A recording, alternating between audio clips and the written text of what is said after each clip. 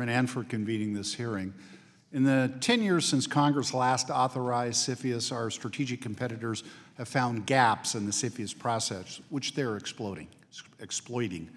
Right now, if foreign intelligence agencies want to buy land to help spy on our most sensitive national security installation and there's no existing business on the site, CFIUS can't stop them.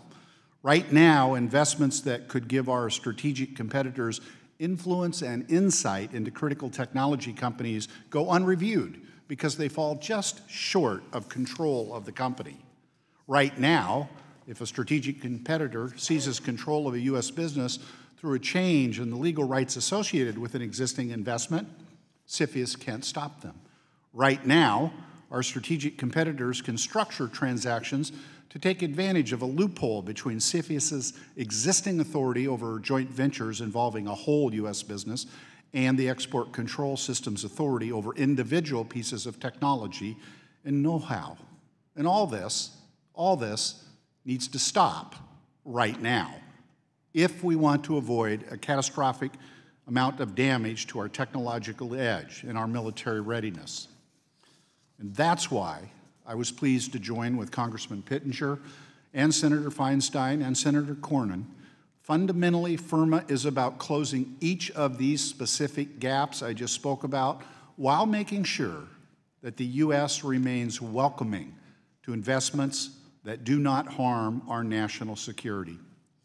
Throughout this process, Congressman Pittenger and I and our Senate counterparts have been working closely with stakeholders and the CFIUS agencies to refine and perfect the bill.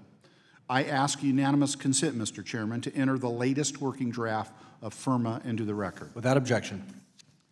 While our witnesses are testifying on the bill as introduced, I would urge my colleagues to see how we have addressed many of the issues that have been raised in our revised text.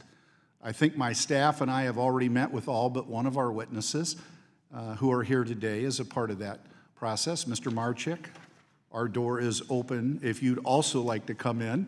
Uh, and your input has played an important role in this process, notwithstanding the lack of physical presence thus far. I am glad we are working on this issue in a bipartisan way. I echo the remarks of the chair, and I extend to him once again my gratitude for the manner in which we have undertaken this task, this very important task. I am, for my own part, happy to work with anyone who is willing to come to the table in good faith.